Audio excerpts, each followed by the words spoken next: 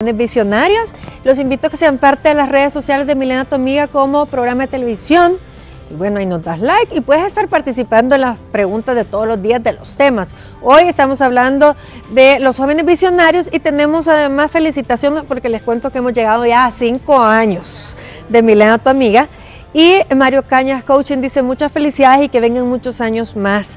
George Flores, felicidades Milena, es un privilegio para la teleaudiencia contar con un programa tan especial como el suyo, único, ameno, constructivo. Muchas felicidades y que Dios la bendiga. Gracias George. Valeria Díaz dice, felicidades, se les quiere mucho, bendiciones. Gracias Valeria. Poncho, muchos años más y con un gran programa como ejemplo de superación. Gracias Poncho. Carla García comenta, felicidades Milena, que Dios la bendiga, igualmente para ti. Ivania, felicidades amiga Milena, muy bonito su programa, bendiciones. Oscar Ramírez, muchas felicidades querida Milena, la amiga de todas y todos en El Salvador, tan chulo Oscar.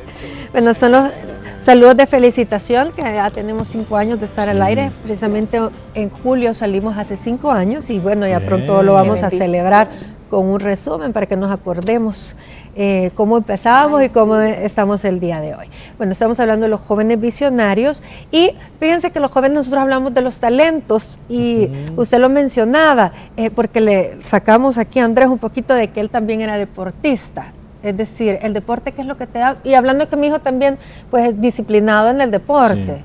Yo creo que el deporte trae beneficios grandes. La disciplina, creo que es clave un niño, una niña disciplinada, realmente va a lograr más retos. que uno puede ponerse solo a jugar por placer. Por placer. Pero cuando ya alguien practica un deporte con la intención de obtener resultados, va trabajando lo que se conoce como la inteligencia kinestésica. La inteligencia kinestésica es lo que permite que el cuerpo pueda caminar a la par de la pasión, de la visión, del entusiasmo.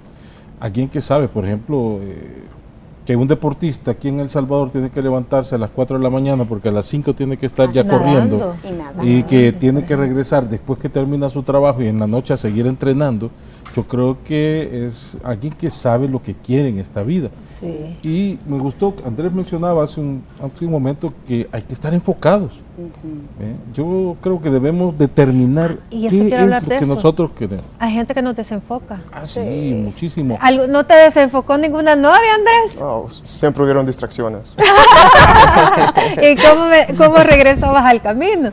Eh, no, o sea, uno siempre hay que, hay que darse ratos para uno mismo también. Tiempo de, sí, claro. Tiempo donde uno puede estar, o sea, con uno mismo sí. y solo atenderse, cuidarse a sí mismo también.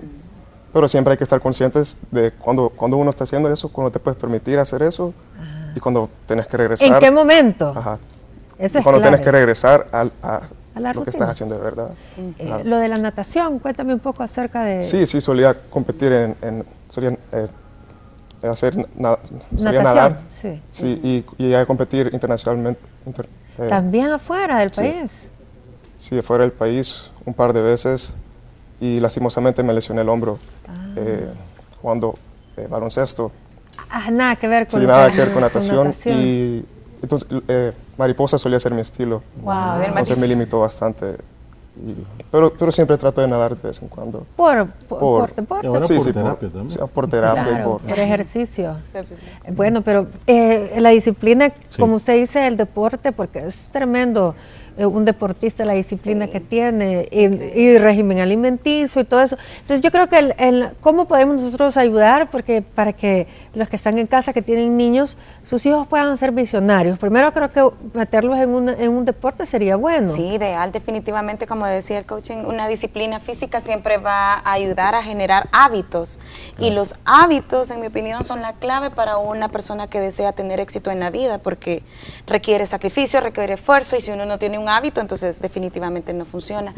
La recomendación para los padres de familia definitivamente, en mi opinión, sería potenciar y dejar que sus hijos sueñen y permitirles esa oportunidad de soñar mucho más de lo que, tienen. En la, infancia, por ejemplo, como decía, el, de los 0 a los 6 años existe mucha imaginación y muchos niños cuando se les pregunta qué quiere ser, un día son astronautas, el otro día son cocineros, el otro día son motoristas, pero esa virtud de los padres de familia de permitirles soñar creo que es eh, clave. Y en el caso de los jóvenes en particular, yo sí diría que ninguna, ningún resultado es fortuito. Todas esas personas como Malala o como muchos jóvenes como los que tenemos aquí, llegan al éxito y muchas personas solo ven esa escena del éxito, pero no preguntan cómo llegaron hasta ahí. Realmente ese trayecto creo que ha sido el fundamental para alcanzar ese, ese gozo que tienen en ese momento.